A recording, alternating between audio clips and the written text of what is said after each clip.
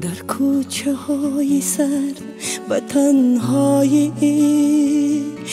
مادرایی درد و تنهایی میفتم از درختی نیازی خش چون برگ های زرد و تنهایی تنهایی تیرگیست ولی دنیا با آدماش تیره تر از این است.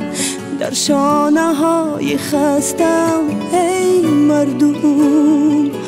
گلواری پاره پاره نسرین است. از من برفت هرچی که در من با از من برفت شوقی شکوف تنها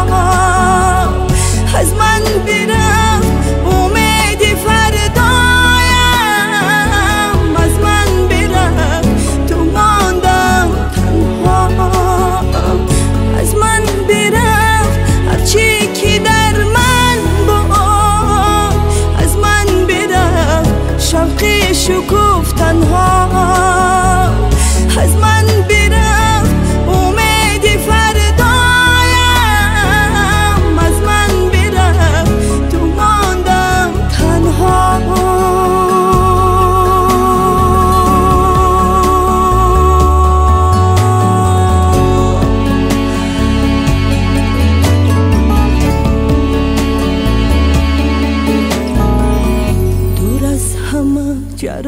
جراحتی قلبم را با ناله های تخ دوا بخشم.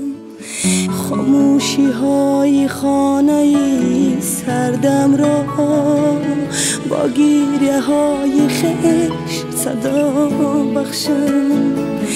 ای نارفیقی خنده شبنم ها خورشید را ربودنی آخر برای من که